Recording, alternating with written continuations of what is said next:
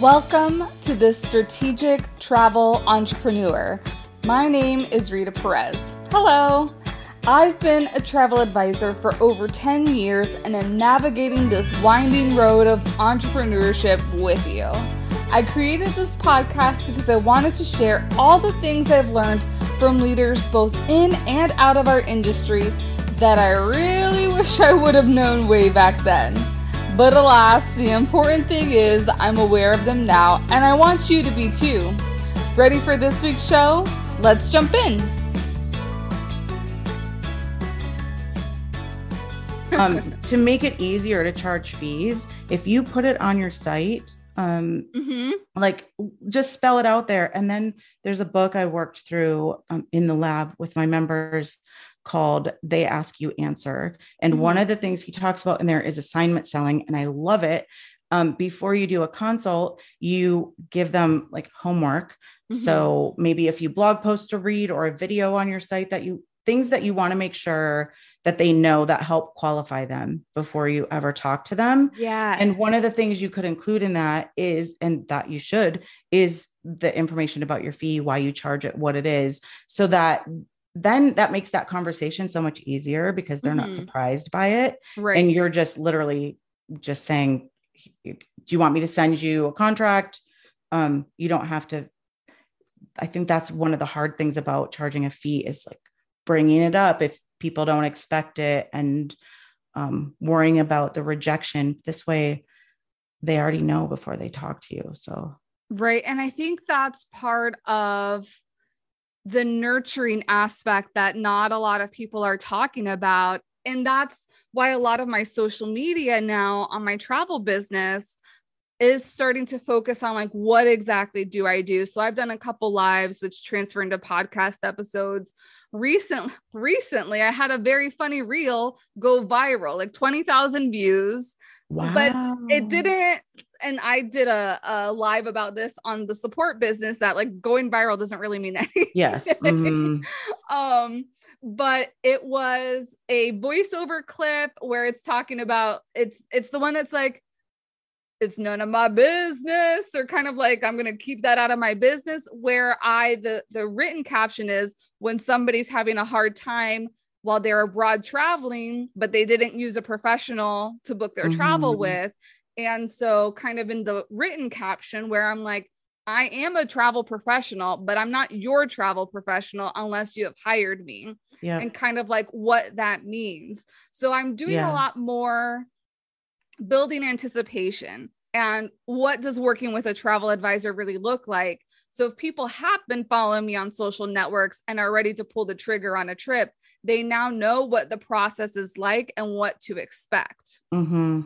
That's actually um, a podcast episode I have on my list of future ones is the importance of like part of our job actually what maybe our marketing should be is educating people about what we do because mm-hmm. they don't know and we can't i was thinking about everybody complains about tire kickers and price shoppers and um and yes part of like some of them are really just cheap and they're not going to pay you.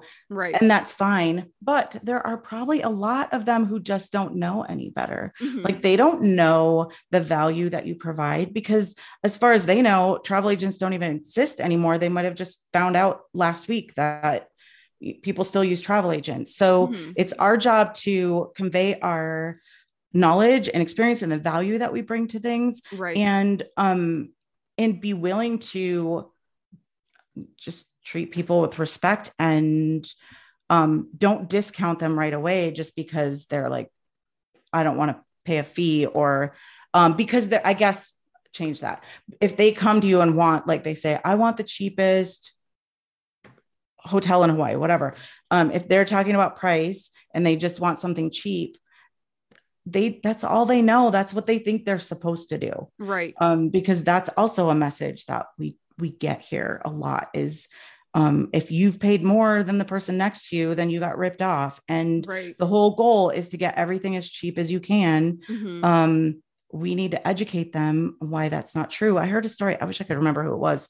Somebody came to them with a with a certain budget for something, and um, she came back to them and was like, "I can't I can't do what you want for this budget. Mhm. This is how much it's going to cost. And they she expected them to be like, okay, never mind. But they came back and said, Oh, you're right. Like we just didn't know how much it was going to be, and we didn't even know what to expect for the budget, but we really want this type of experience. So yeah, we're willing to pay more for that. Um, so yeah, I think we need to see ourselves.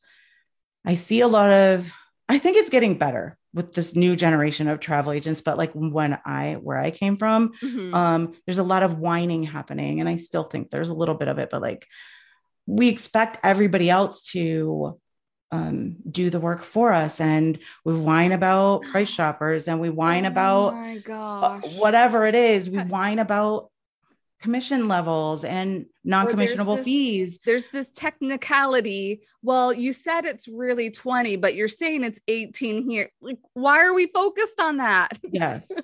yeah. So we have to take responsibility for that and educate people. You can't wait around for somebody else to do that for you. And same with like commission amounts. That was my big that manifesto that I wrote. That was the thing. It was like, why are we giving all of our power to suppliers? Yes, they are our partners, but we have literally co-opted our entire businesses how much money we make, what marketing we do, how much Mhm. time we spend on a booking. Like I've seen a lot of people, and rightly so, complaining about hold times recently, and it Right. is absolutely unacceptable. And if if a supplier partner that you're using, if you're having to sit on hold for three or four hours or more, don't book them anymore. They clearly don't value you. I just saw, um, I think it's Royal Caribbean that is now doing the callback Yes. thing, right? Yeah. Yep. Um, so good. Thank you. Thank you for that. But if other people are not doing it, do not book it. It's like Right. this is the thing I think is like it's controversial and I don't I'm not quite sure how to navigate it, but I know that putting up with stuff like that is not the answer. Um they can drop commissions at any time. And they when they need Right. us, um when they need us, they'll increase the commission and they'll be so nice. And then as soon as things turn around again and they think they can do it without us, they're going to cut commissions again and um, make things harder and start going after direct bookings. And they have a right to do that.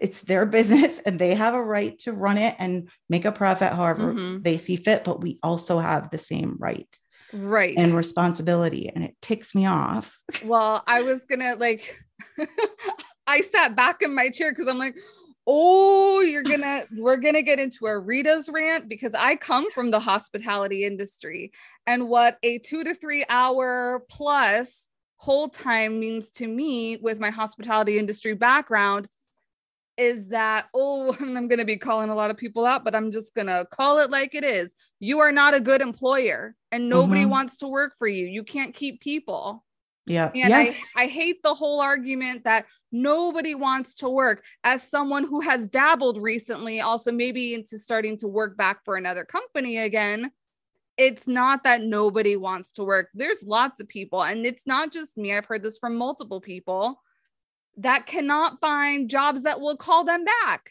yes. and people don't want to go back. I remember I did recently have a phone interview, and I remember by the end of that phone interview, my soul like was sucked back in to that corporate world and i was like i don't want to do that. Like that is i'm so far removed from that world that it if, Mhm. if it's not a forward thinking people first mentality organization that values me as a person and not just me as a number i no I, I can't i can't do that anymore. And that is i that is a majority of why us in the travel industry because we are in the hospitality field are having such a big problem especially this summer is because the hospitality industry is so ingrained in old school corporate values Yeah. unlike things like a tech company and the tech industry which is so people forward right now Yeah. like I remember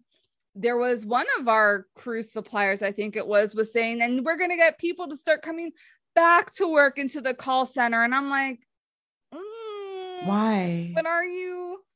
and I I understand too. It is annoying when I'm hearing things going on in the background and hearing dogs barking or like children running around and all that.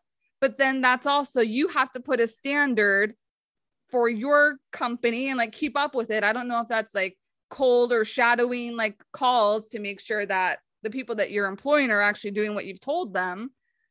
But it's just it is an endless site and clearly I'm on a tirade about this because I was in it. I I was mm-hmm. in it and they are such low paying jobs mm-hmm. that don't afford people basic things that they need in their life. They have to have four jobs working in the hospitality industry in order to have the one income that people were able to have yeah. 50 60 years ago. Mm-hmm.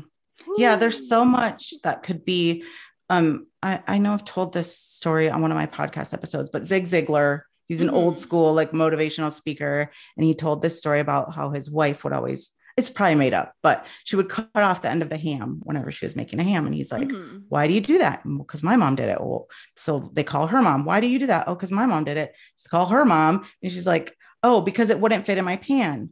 And so there are so many things. Yeah. Yeah. There are so many things that in this industry that we do um, just because that's the way it's always been done. But right if you ask yourself, and this applies to every travel agent listening right now, you can do this. Just ask yourself why. Right. Why do I do it this way? Literally, like write down everything you do day to day and ask yourself why. And could you do it differently? And if you did it differently, how would you do it? There's a um, I'll give you the link and you can put it in the show notes. There's a podcast. It's very long. It's Tim Ferriss. It's probably two or three hours long mm-hmm. um, with one of the owners of a restaurant in Chicago named Alinea or something like that. Um, but they, I loved this story. Not every, I just geek out about this stuff. So maybe not everybody will find it interesting, but they were opening a restaurant and they literally did that. They went through every single thing. Why are there white tablecloths on on every table in every fancy restaurant? Mm-hmm. Well, because the tables underneath are really ugly. So we have to cover mm-hmm. them up. Okay. So could we do nice tables? Sure. But then there's some law in Chicago where the silverware can't touch the table. So they had to make pillows for the silverware. And it's just so fascinating how they, all these things that every other restaurant did. Mm-hmm. And they mm-hmm. just thought, okay, why? Why do they do this? Why do they do that? How can we do it different? Um and i like that's what i really want this industry to do is right. and travel agents we cannot sit around and wait for the suppliers to do this for us. Right. Um they're not going they're going to take whatever we're willing to give. Right. And if that is our heart and soul and our blood sweat and tears and the rest of our life they will take it. And they will pay us $50 for 40 hours of work right. and act like they're doing us a favor. And they're not. And yeah, it's just, it's beyond time to change it um, right. and not accept right. that anymore and decide what you want and figure out how to make it happen because literally right now anything is possible you can mm-hmm. do anything you want and i feel like people hear me talk sometimes and this is why i hold back on some stuff because i feel like people hear me and they're like whatever like that is not realistic you are just selling people stuff that isn't actually going to ever be able to work. But it, there, everything, Marie Forleo, everything is figure outable, mm-hmm. literally everything. Mm-hmm. There is a way to do exactly what you want in exactly the way you want. Um, and that's like to bring it back to the ADHD stuff. Like, I can't, there are some things I'm good at showing up on time for the most part. I don't have mm-hmm. that problem, but I was in a group and a lady like totally spaced on a client call, like wasn't just late, just totally forgot about it. And she was just devastated. And you would think, well, that you can't run a business that way. But guess mm-hmm. what? Everybody else was chiming in saying, oh my gosh, I've done that so many times. Right. Um, so if you think, I'm not saying don't show up to client meetings, but like it doesn't have to be the the way we've always thought it had to be. You can make it up. I I love that you say that. I do want to put a disclaimer on what I was saying. Yes, there are still bad employee eggs. So I'm not saying that the hospitality industry is totally to blame for it, but there's things that have to be broken in that system.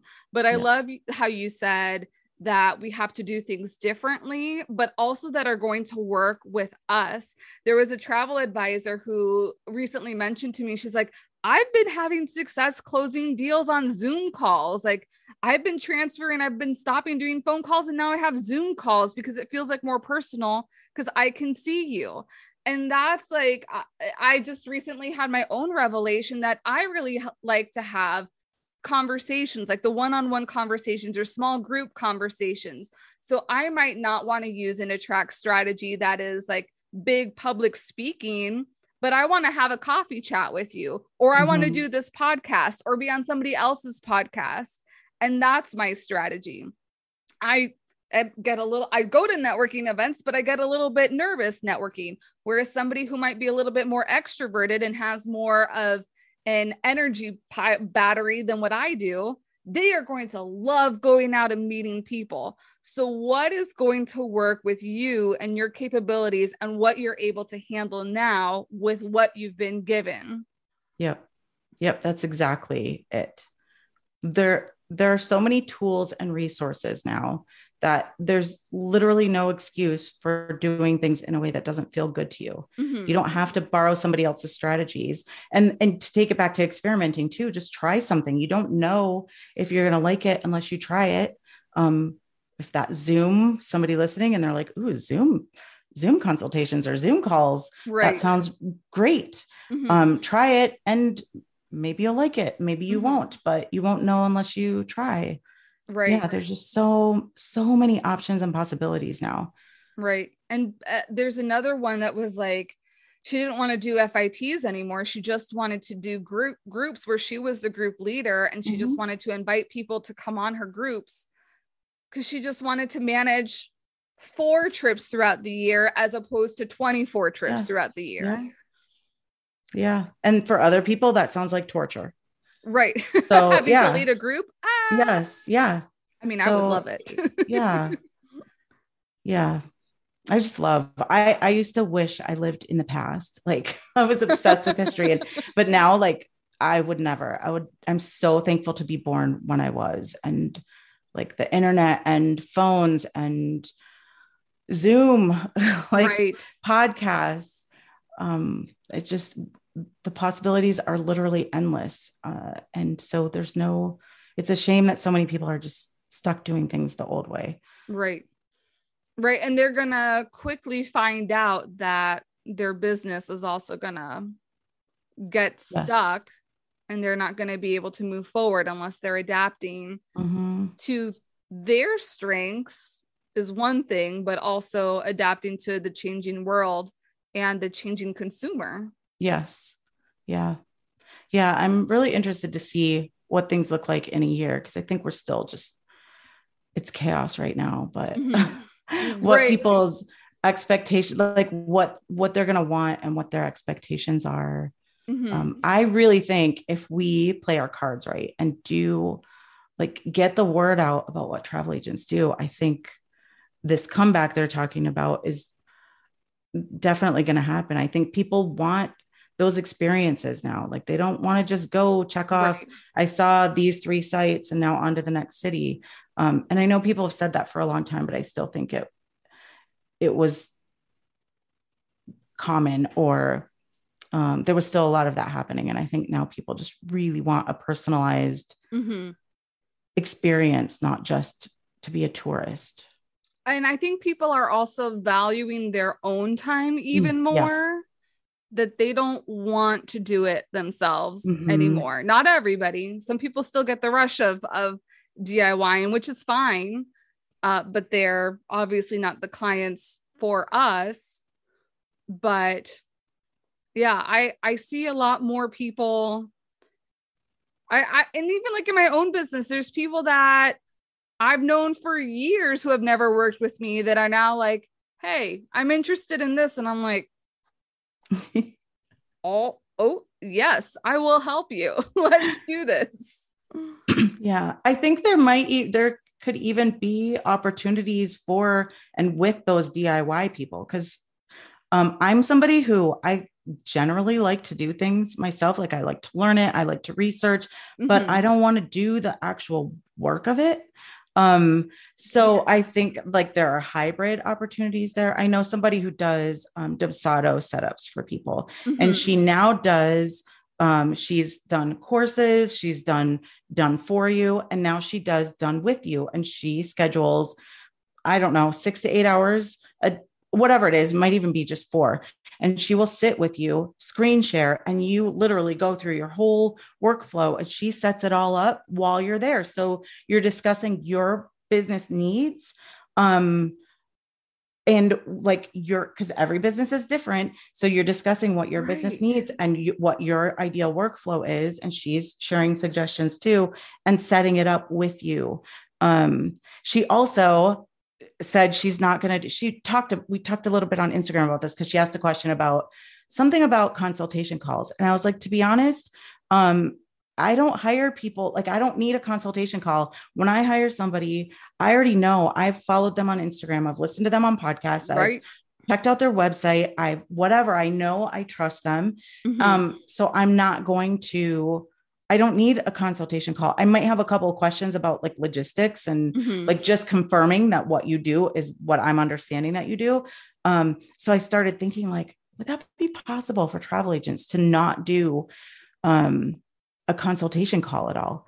You, you still need to, I haven't quite figured out how to get rid of it completely because you do still want to make sure that their expectations and their budget match right, right. reality and stuff like that. But it's just things like that that you could, you know, we initially would say, oh, we wouldn't work with a DIY person, but maybe you do. Maybe you're like, you give them a little bit of feedback and you handle the logistics and the bookings. That's still worth hundreds of dollars in fees. well, like, and I I love that idea too because that re- reminds me of I worked with Amy Graves, who is an SEO expert, like Google Analytics expert, in making sure that my Google business profile was set up. So I had 45 minutes of her time and I did the screen share over Zoom. And she's like, okay, let's do this, let's do this. So I'm wondering and if like getting into the fee conversation, if we're going to the plumber charges an hour for his time, mm-hmm. so then a travel advisor just to do a consult or do one of these like done with you things, you're charging an a hundred dollars for an hour of your time. If that's where your normal fees start at, and you're going to be doing a heck of a lot than D, D DWY, then you need to increase yeah. your rates. Yeah, because that I'm also thinking about. Uh, I recently sailed on Celebrity for the first time, and I had someone come out to me. and They're like, "Oh my gosh, my my kids bought me a cruise on Celebrity, and I would love to pick your brain on everything." And I was like, "I need to create a consult for that too." Yes. Mm-hmm.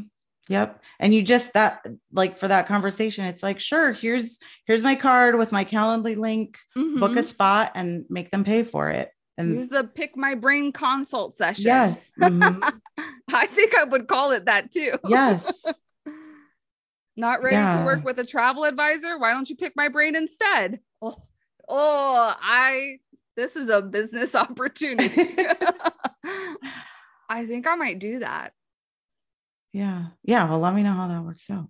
What you decide to do. I yeah, there's just so that. many different ways. It just takes conversations to right because i have been doing a lot of do enough people know that your business even exists if you're not meeting your yearly income goals then probably not you need more clients which means you need more prospects and you can't get those unless you're meeting them where they are if you're doing things like sending weekly emails and posting to social media, you have put the horse ahead of the cart. So let's put the horse back where it belongs and find opportunities to increase the number of eyeballs on your business by joining the Visibility Collaborative. Search for visibility opportunities, track your efforts, and troubleshoot in community. Head on over to the show notes to learn more and get ready to turn your new prospects into profits. I have so I've this is going to be a lot of information, but let's just put it out there. I've been dipping my toes back into the dating world again. Ooh. And so I follow a lot of people on Instagram who are like dating coaches, uh, or however you want to use that term. And I've been loving the reels that they do, where it's kind of like giving advice or giving a scenario, and it's just them talking for 30, 60 seconds. Mm-hmm. And so mm-hmm. I've been making reels for my travel business that are very similar to that, kind of like Did you know that there's more to cruising than just belly flop competitions? Like you can actually have a peaceful pool day on your sea day instead of being inundated yeah. with dance parties and everything. Yeah. And like creating a call to action to that. So I'm even thinking I could market something like a pick my brain. Hey, you don't, do you want to DIY your next trip, but you need a little bit of assistance from a professional? Register for my pick your brain session. Mm-hmm. I want to test that out. Just helping them. I mean, one like one aspect of that could be like, so you think you want to go on this cruise line or stay at this hotel because your friend said it's the best one. Right. I'll help you make sure that that really is the right fit for you. Cause I can't tell you how many times people like, my friend said right. this cruise line. And you're like, mm, based on what I know about you, you're not going to enjoy that experience. Um, right. So just making sure that what they're looking at is going to be a good fit. Yeah. Like, is this cruise line? Huh, because that even makes me think about like the top cruise lines that I sell. And uh, being able to speak to someone is a way quicker transformation than Googling the information yourself. Yes. So, like, do you want to do an XYZ? Is is XYZ cruise line the right cruise line for you? Book a consult mm-hmm. with me and mm-hmm. we can talk through it. Yeah.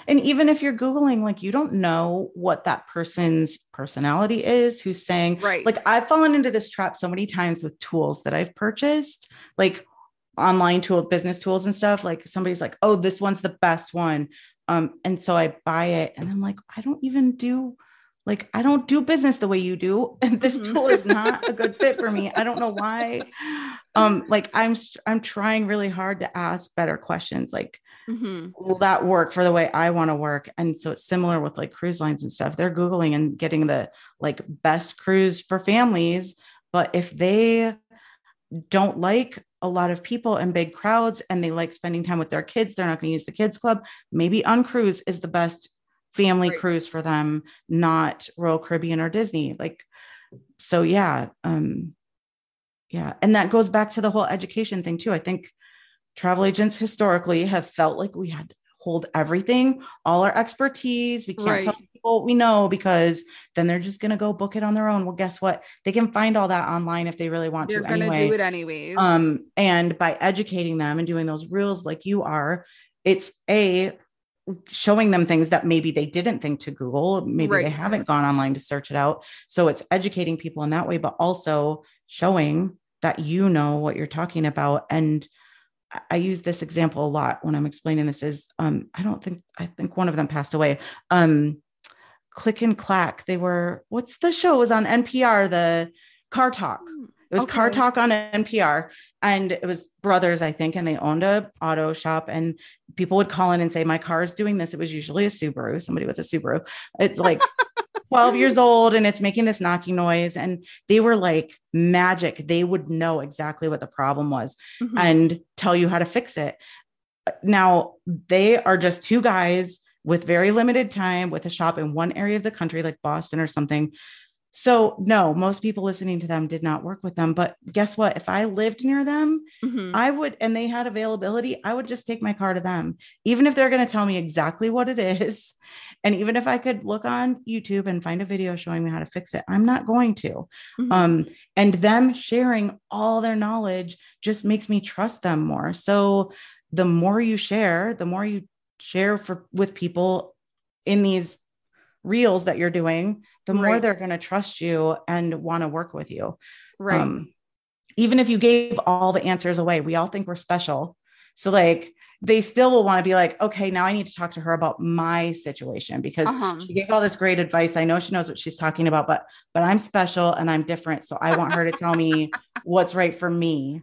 Right. Um, so yeah, I think that's like that's such a great strategy for earning know like and trust with people and getting them to want to work with you exactly just keep giving it away and even like i know some people are like well what if another travel pro like starts taking it's already out yeah. there it was funny um one of my friends had said he's he's a creative and he's like isn't all art kind of like a replication in some form or fashion of somebody else's it's been mm-hmm. inspired by somebody else and yeah. that's like i feel there's so many of us that are saying the same things, but we're saying it differently, possibly, or we're saying it with a different lens, a different viewpoint, or maybe you really love my voice, but you hate the other person's voice or the yeah. other person's attitude. So you would never want to listen to their podcast, anyways. Or you've listened to me and you're like, ah, you are not my cup of tea, Rita. Like, we're not we're not going to connect anymore. Yeah.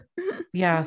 And that goes back to just being yourself too and trusting yourself and trusting your own voice. And mm-hmm. um it's been like I as somebody with eight uh, like undiagnosed ADHD have always and also as a very young mom. So I was 17 and 18, 19, whatever, when my kids were growing up and all my peers, like their parents' friends, were old, like 10 to 20 years older than me at the time.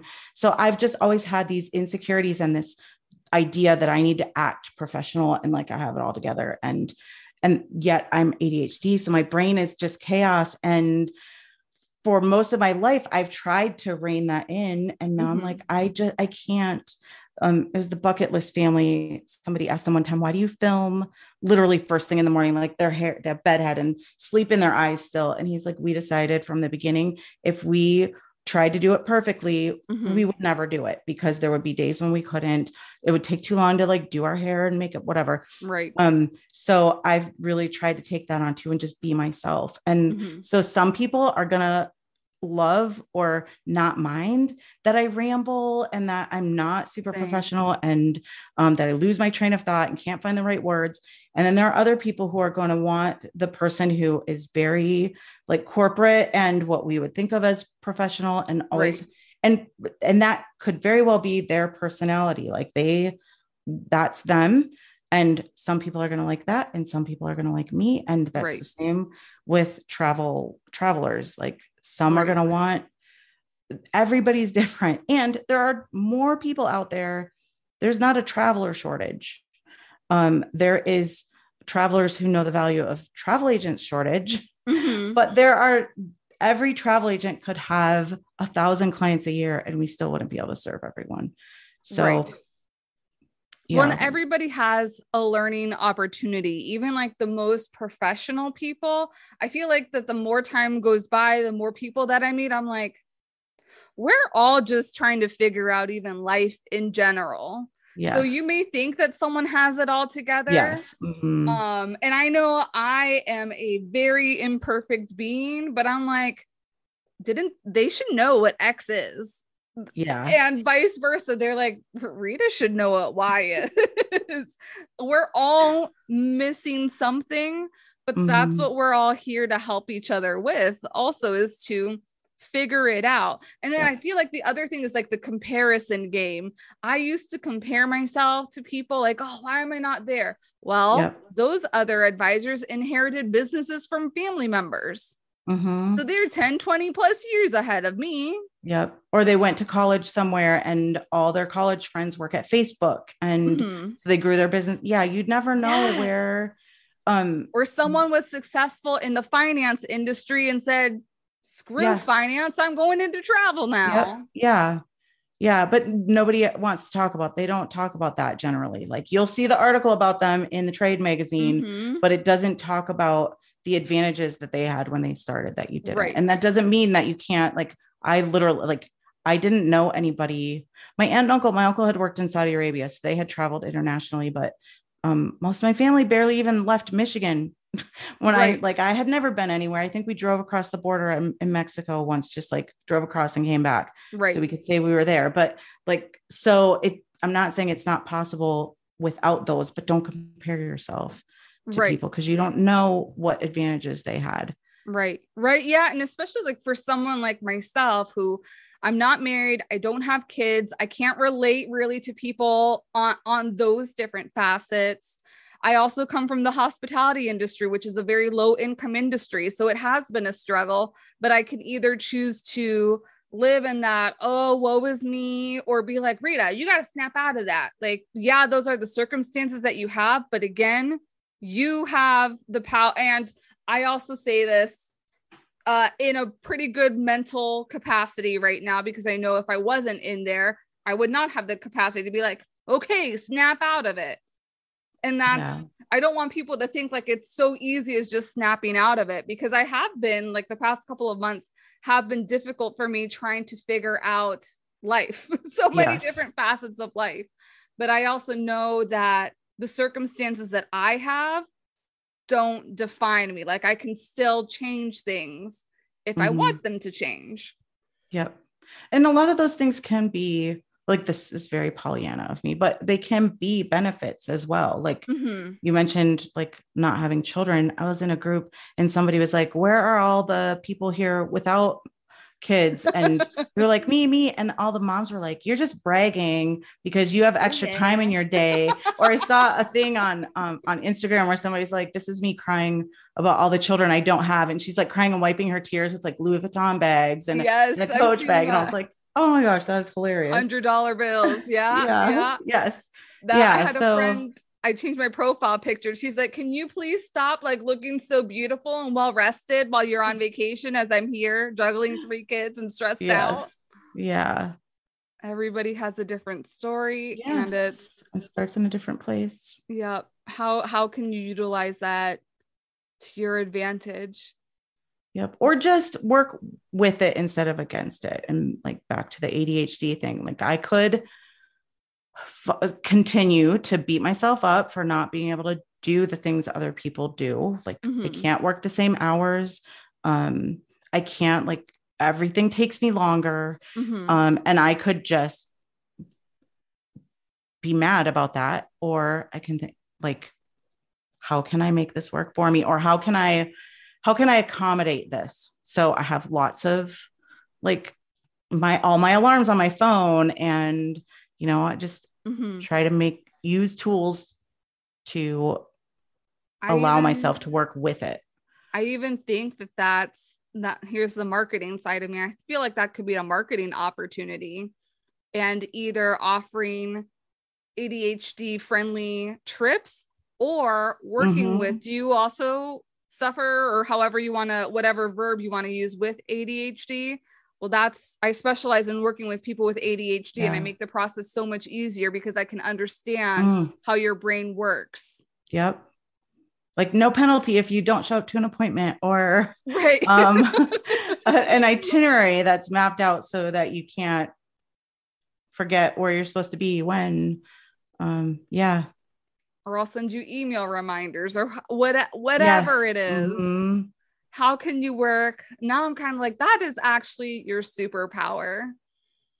Cause yeah. that I, and I don't shy away. I think a lot of that stuff, we've shied away from telling people what I think might be stereotypical hindrances. Mm-hmm. But I'm, I am very open to tell people, yes, I have an autoimmune disease.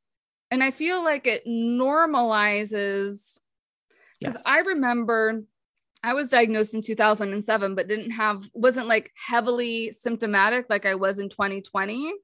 And it is a very lonely feeling. But once you start openly communicating that, there's more people that are like, huh, I have that mm-hmm. too. And you're able to be like, okay, I'm not crazy when this happens because this person has also dealt with it. Yep. Yeah. And you can look at it from that. And that's why I don't specialize in family travel. I don't know. Like I I am very aware that traveling as a parent and especially like as a single parent is very difficult. Yes. But I wouldn't know how to help you navigate that because I don't have that experience mm-hmm. in my tool mm-hmm. belt. Yeah. Yeah. Yeah. I think a lot of people like hear, oh, family travel is going to be really hot. So they jump into it. And I'm like, if you don't really love that, it's not going to work for you.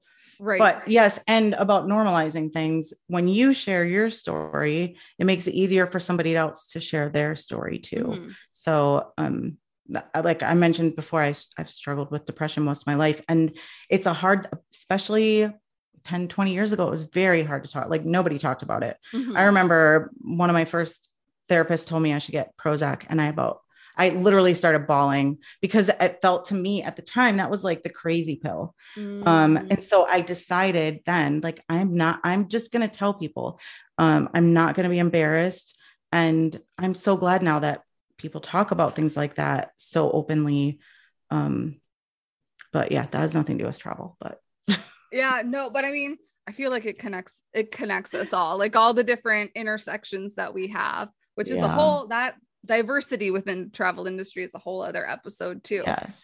But um I feel like it's time for us to wrap this up. Yes.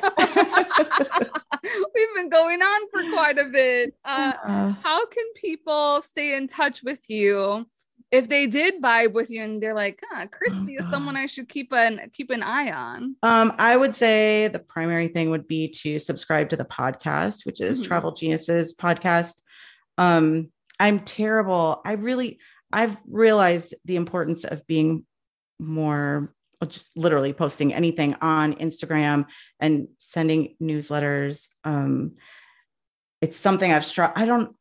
I think part of it is I feel like it's really, I don't know. I just have been terrible at it. But there was somebody I wanted to learn more about recently. I went to her Instagram and there was literally nothing there. I'm like, oh, this is what I do. Like there's literally me. Um, so the best way right now would be to listen to and subscribe to the podcast. Okay. Um, and then I am on Instagram at Travel Geniuses. Um, and I am gonna make an effort to post more there. Okay, perfect. I I was kind of like a sidebar to that too. I'm I the two service providers that I always recommend to people are my pest management. Like I, I was dealing with squirrels in my attic before, and then a lawyer, an accident lawyer. And I don't follow them on social media. so I was like, even though I do love using social media as a tool, just you bringing that in, I'm like, you don't have to be successful in business and be on social media. There's Yeah. other ways to reach people. So I just I Yeah. had to like drop that in before before we wrapped up. and if anybody has any, obviously, like, well, DM me on social media. I'm pretty good at DMs. yeah. Um, you can also email me, Christy at travelgeniuses.com. It will probably take me a little while to get back to you, but I will do my best. Yeah. But Yeah. yeah, I'm open to any questions if anybody has any questions based on what we talked about today, too. Awesome. Well, thank you so much for being here. Yeah, and this was a lot me. of fun, fun. and covering like again. so many. Yes, we will. Yes, I know. I, I feel like this was a very ADHD conversation. Like, we yes all yes. I i agree with that. I have like my little list of uh points that i was like oh these are all these are all the stigmas and i knew we weren't going to get to them all. So coming to you sometime in the future more christy and rita action. Yes. all right travel pros you have a wonderful week and we'll see you next time. Thanks for joining me on the strategic travel entrepreneur please subscribe and leave a show a rating on your favorite podcast platform. Oh, and don't forget to take a look at the show notes for important information and links. See you next week.